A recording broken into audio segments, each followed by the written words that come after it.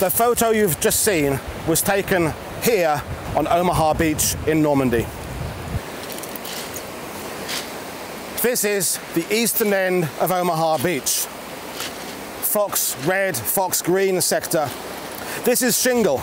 Now shingle, let's be clear what this is. This is the European use, the British use of the word shingle, not American.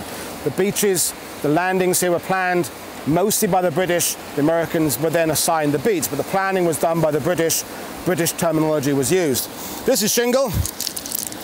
Shingle is smooth, washed rocks, been here for thousands of years, rolled over by the tide day in, day out, making this eight foot high bank, 30 foot deep. And it's where that classic photo, that iconic photo was taken somewhere along here. We know it was taken around midday or early afternoon because of the height of the water. At low tide, 400 yards of sand. But a high tide, and it's high tide right now, the water comes right up here to the base of the stones. So we know the photo was taken early afternoon. At the time, the bank of stones ran nearly the entire length of Omaha Beach, five miles.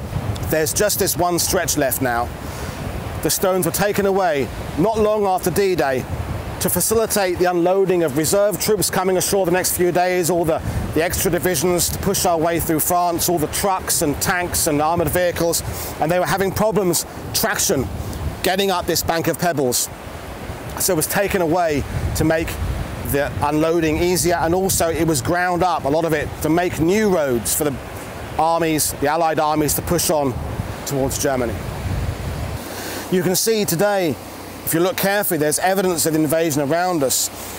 Behind me, there's bits of metal.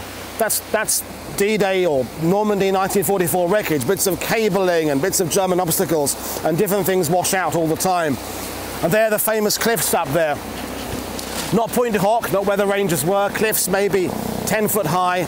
It's those cliffs there where the famous photos were taken of the GIs sheltering under the, uh, the cliff face there the wounded men, some of which were here because the tide moves easterly here generally.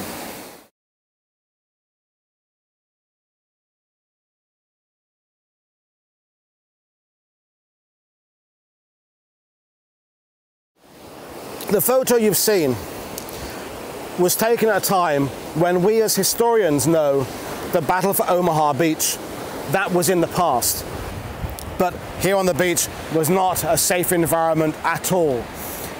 The threat came from artillery inland, just a sheer worry about all the landing craft coming in. You've got to remember, if you were here then, 2,000 ships and landing craft visible from this one beach, not counting the other four beaches to our east and west. The landing craft coming in, that they could, they would collide, and people got crushed or fell off or drowned, and people are being knocked about, and uh, seasickness, and those contribute to the chaos on the beach.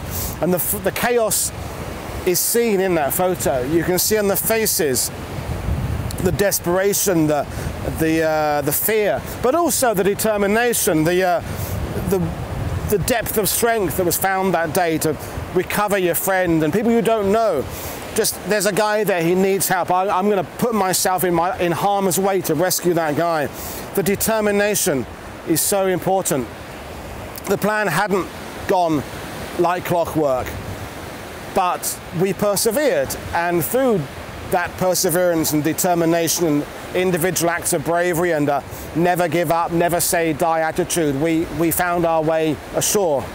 And uh, the symbolism of that photo of let's just get these wounded men out of the water and then we can push on up those bluffs and get inland and get to victory.